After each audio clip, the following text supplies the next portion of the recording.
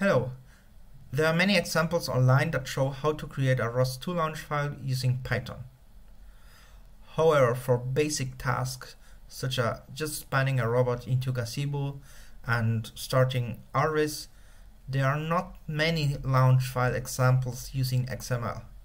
So in this video, I want to show how to create such a launch file using XML and we'll also compare it with the same functionality written in Python. So let's start.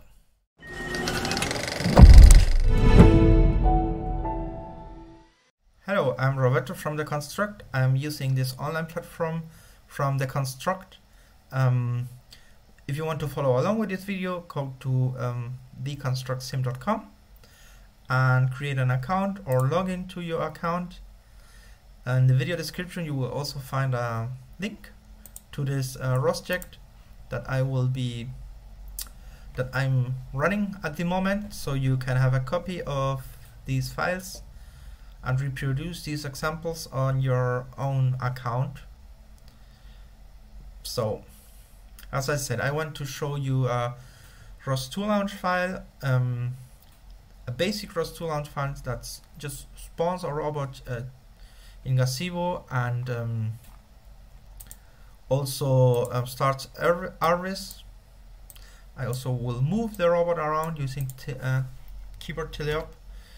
So let me start by um, compiling the ROS2 workspace and sourcing it.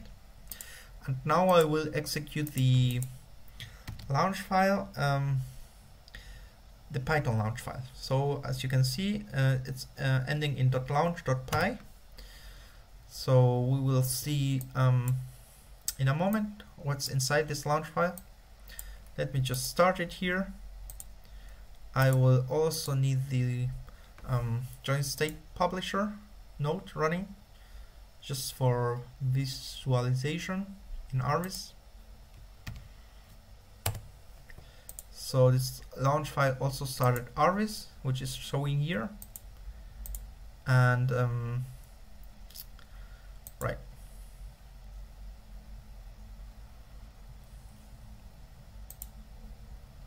oh I haven't uh, run here the joint state publisher. Okay so now the um, robot is showing properly in in Rviz and let me see if I can move the robot around using the um, teleop twist keyboard package. We will basically use the keyboard to move the robot um, let's place the simulator here. And see if I can move the robot around. Wait. There it is. Stop it. So I'm using my keys on the keyboard to move the robot. So that's the basic. If you want to start learning ROS you have to know how to start a simulation how to um, run this uh, program for visualization. This is called Rviz and um, spawn a robot model into Gazebo. And um, yes, Python launch files are or can be a bit um, complex, especially for beginners.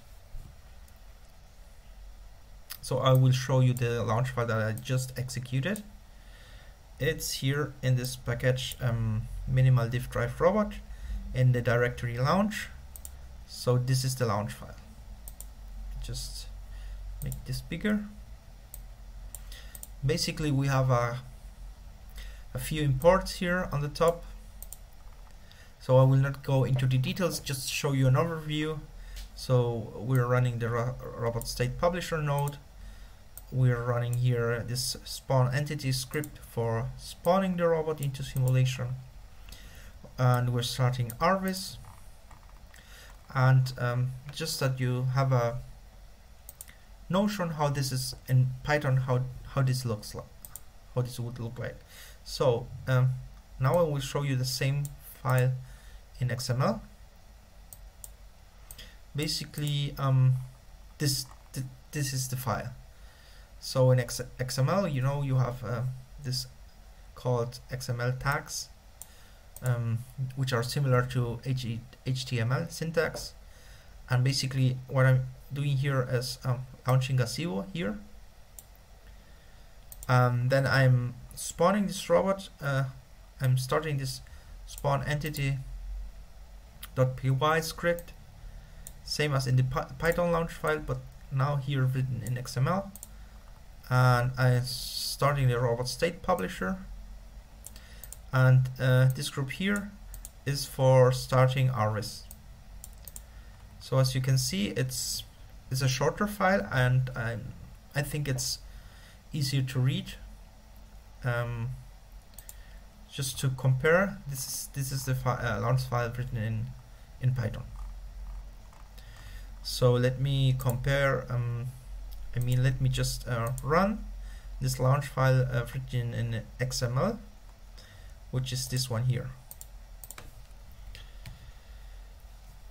As you can see uh, the extension is .xml let me run it.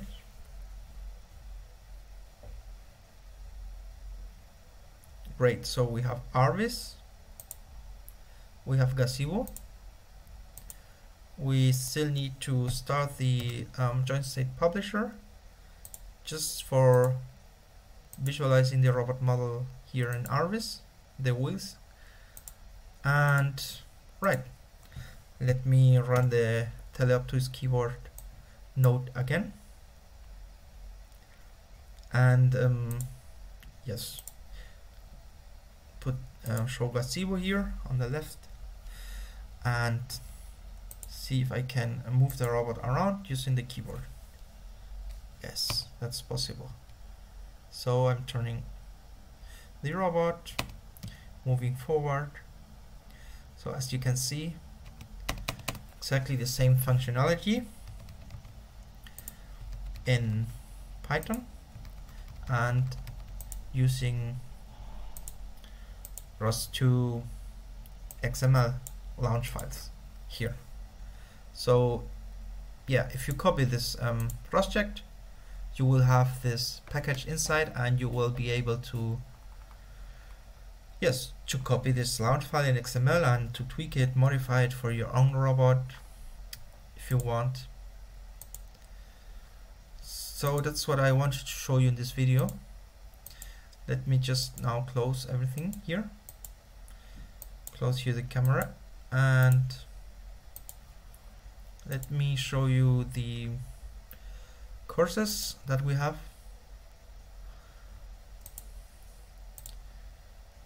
So basically so if you're starting to learn ROS of course you need to know at least uh, uh, one programming language which is um, either Python or C++ so you can learn this in our academy for free. Um, it's good to have some basic Linux uh, knowledge which is also here for free. And then you can start uh, learning either ROS2 or ROS1 and you can start with one of these ROS2 basic course or ROS1 basic course and um, here's our ROS1 basic course in Python and um, optionally in C++ and there are many other courses. For instance you could learn um, ROS2 navigation for autonomous navigation or manipulation if you want to work with um, robot arms. Yeah. So that's all for this video today. So thanks for watching. And if you like the video give it a thumbs up uh, subscribe if you haven't and share it with your friends. See you in the next video. Goodbye